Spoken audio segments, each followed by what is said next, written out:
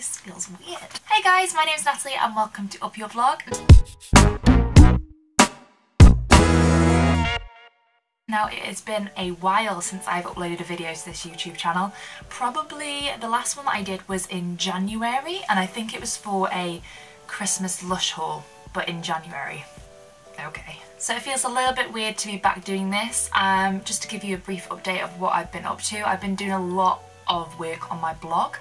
Um, that has been sort of my main focus um, since January and yeah I thought I would get back into the swing of things and do some more YouTubing. So you may have heard of a company called Younique. It is very similar to Avon. Um, it's sort of a pyramid scheme company where they employ, well, you become a presenter um, and then you sell the products to your family and friends. Once you get to a certain level, you can then hire other people, maybe family, friends, and then benefit from whatever they sell. So one of my family friends from home, Stacey Whitehurst, is a Younique presenter. I want to say that I've got quite a couple of friends who are Younique presenters and I will put their links, their profiles down in the description below. But Stacey's can be found right here. Bing, bing, bing, She's based up in Stoke-on-Trent, so obviously if you're living in Stoke-on-Trent, she would be the person to go to. Um, I don't know whether it's different if you live in a different area, you have a representative around there. So hopefully this isn't too bright. I can't really see from here, it is very bright, but hopefully you'll be able to see what's going on. So Stacey um, sent me some Moodstruck 3D fibre lashes and these are something that I've heard a lot about, um, mainly on Facebook, on Twitter, um, they're meant to be very good at creating that sort of false eyelash effect, but a very natural false eyelash and without the hassle of using glue.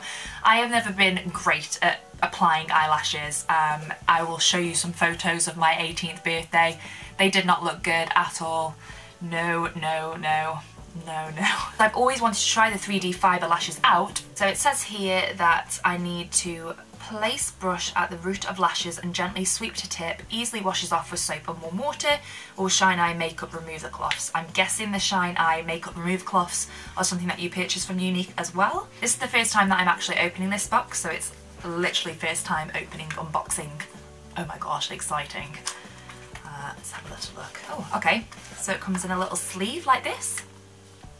I will also be writing a blog post on this as well. I'm going to try and get some screenshots from this recording and put it up on my blog as well. So you have the Moodstruck 3D Fibre Lashes Transplanting, Transplanting Gel, Transplanting Gel, Gel Transplantant. And then I also have the Moodstruck 3D Fibre Lashes which are the 3D fibres. Okay, so I'm now going to zoom in so you can get a better look at my eyes. Okay, so these are my natural eyelashes. This is without any eye makeup whatsoever. I removed it with my Garnier Micellar Water. I think that's how you pronounce it.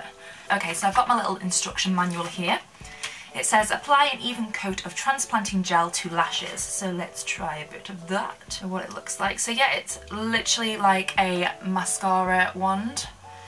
I don't know whether that's gonna show. So I'm just gonna apply these. Okay, so that is the transplanting gel. And then, from what it says, I need to apply the 3D fibres as the gel is wet. So here we go. Oh, oh my gosh. Looks like I'm putting fear on my eyes. Oh. Oh wow. Okay. So you, obviously you can see the difference already with the fibres on. Um, it's really weird to apply because it just looks like you're applying fluff to your eyelashes. Um, it obviously, when you look close to it, like from afar here, that you can see that it looks quite natural, but up close, it's quite fairy. um, so I'm not quite sure whether I like that or not. I will apply some more transplanting gel just to bind that in. So the transplanting gel sort of gets rid of that fluffiness. Um, it kind of binds it onto your eyelashes. Um, and that's the result from one. So I'm going to try a second application to see whether that makes any more difference. So I'm going to go with the transplanting gel again. I don't know whether you're meant to leave it a couple of minutes to dry or I'm not quite sure, but here we go again. And I think you just have to repeat it until you've reached the desired fullness. Um, so let's apply some more of this fairy stuff. You do get a lot of the fluff coming off on you. Okay, so that's the second application. So right now, my eyelashes do look as if they've got falsies on. Um, and I'm not quite sure whether I like it with a second application. I think it's all down to personal preference on what you like. Um, I think I prefer just one application. So what I'm going to do now is just do my other eye with one application and see the difference. Applying some more of this transparent, it's transparent, transplanting gel onto my eyelashes, which actually benefits my eyelashes as well. It does give them a bit more of a lift than my usual mascara does. And I always have problems with this, this side of the eyelash actually because there's, and there's sections where my eyelashes have just like fallen out, which is really bizarre. I don't know why that has happened, but I haven't been picking at them or anything. I just can't get over how like, I don't, you, I don't think you can see it from here, but how fluffy it is. It's really weird. It's a very weird thing. So this side is with two applications on and this side is with one application on.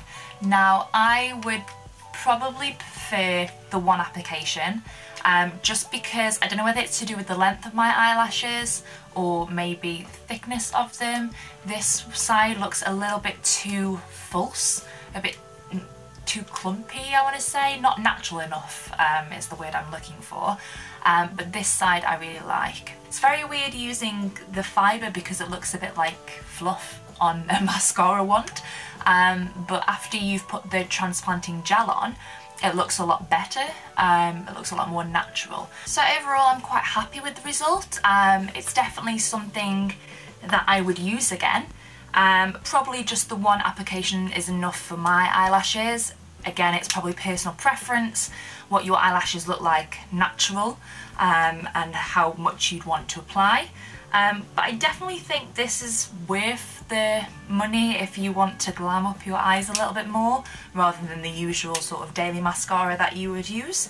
Um, but yeah, I definitely think this is a is a good purchase. Um, I don't know how long these would last for maybe they last a little bit longer than your usual mascaras. Um, I definitely check out how long these should be used for and when they should be chucked out. So thank you Stacey for sending them. Um, I will definitely use them again and I will also feature this on my blog post. So if you would like to check out my blog post on that, that should be coming up very soon on www.upyourvlog.com. Um, and I will see you next week with another video. Um, so first I'm going to try, I should read the instructions actually, this is quite exciting. Oh, nearly poked myself in the eye then.